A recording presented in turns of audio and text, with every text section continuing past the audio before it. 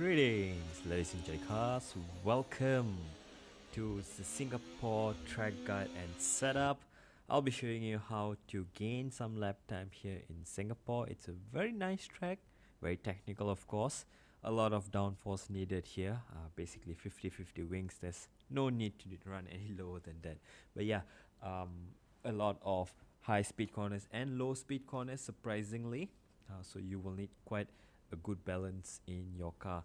So let's get into the track guide first and then we'll go into the setup. What you can do with the setup uh, to make it a little bit quicker, right? Because no matter how good you drive, there's always something in the setup that is going to make your overall lap time much better.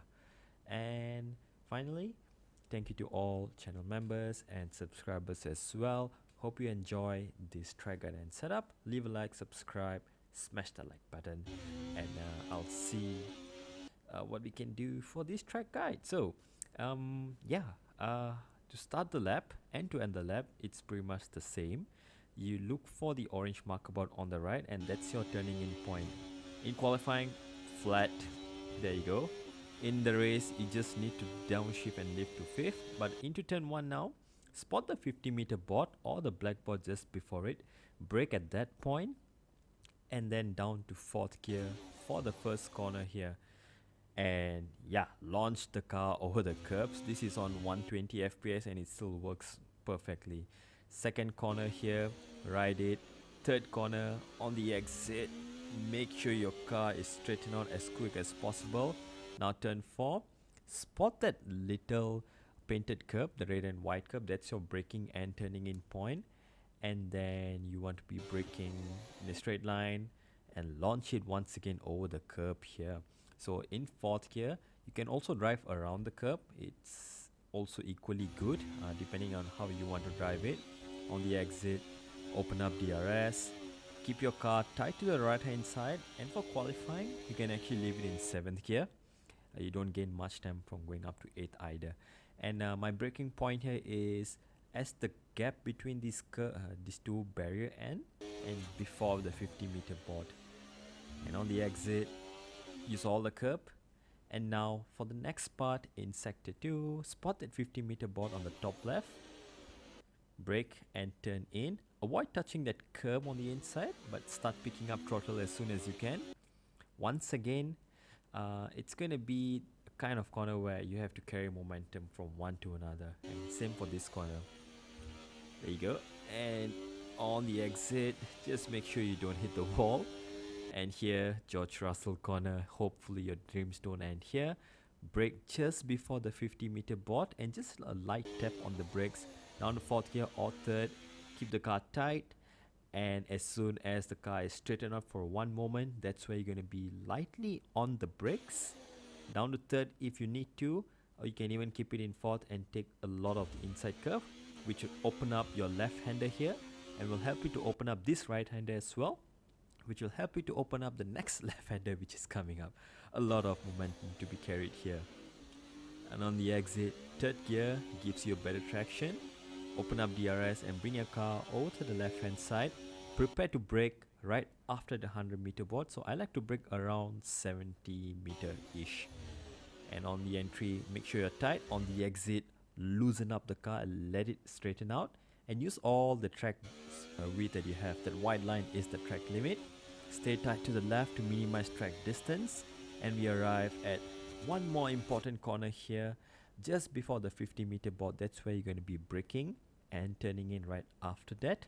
Take it in fourth gear and launch it over the first curb this will help you to open up the second apex, the second left-hander. So let's see, there's two different ways you can take the next left-hander. My preferred way, you can take this curb in the drive or you can even completely avoid it. If you take it like I do, it will drag you outwards and that's going to help you to actually carry the momentum. Surprisingly, it works. Uh, you can even completely avoid this curb and it's going to be about the same lap time. And to finish up your lap, just turn and pray and the car goes into the apex. Across the line there you go. That is a lap around singapore 126.2 which is still about about over a second away from the world record but you know this is more of a race setup not really going for world records here. And let's get into the setup. So if you need to take a look back at the track guide please make sure you pause and take a look at all the corners and there's also going to be a full speed hot lap after this. Let's get into the setup first which is 50 50 wings like i said. No surprise no secret here. You want to use maximum downforce which is going to be helpful in the race also and also in the rain. So if it's going to be raining around singapore yeah good luck. Uh, this is definitely going to help you out. Um, but uh, yeah there's no point going any lower. Transmission 100 on the on throttle to give you the best traction out of corners especially the slow corners and keeps the car relatively planted when you're trying to accelerate out of the slower corners. In higher speed corners you can use 80 or 90 or somewhere in between up to you. Engine braking also at 100% to slow down the car as quick as possible and minimum off throttle to allow the car to stop uh, much easily and turn much easily. Uh, that's going to give you a lot of time on the entry. Suspension geometry is all minimum. Uh, this is going to give you best um, best grip and turn in. And we arrive at suspension where as usual we do our magic.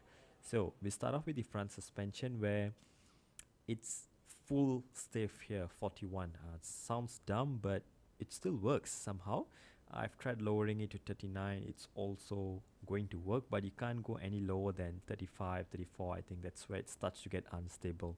And you definitely need to raise your ride height if you lower your front suspension so with 41 front suspension you can run as low as 20 front ride height. It's still pretty good on all the curves here as you saw just now. Uh, similarly for the rear ride height and the rear suspension I'm running it on 55 rear ride height to give me good amount of grip on the rear. And 12 rear suspension just is a good amount to stop the rear from flexing too much uh, on the ex uh, on the exit.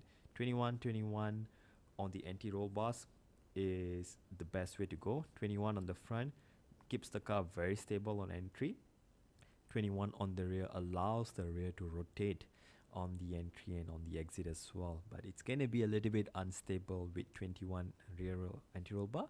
You can try to use 19 or 18 to be a little bit more stable. Uh, 22 60 ride height is a bit safer if you want to use and go for it. I'll leave that option in the description for you to check out later brakes 155 as usual. You can use 56 or 57 for high speed uh, heavier braking. And tire pressures they are maximum. You can use maybe half a psi or 1 psi less to heat up the tires a bit quicker in qualifying but it heats up quite easily around here in Singapore anyway.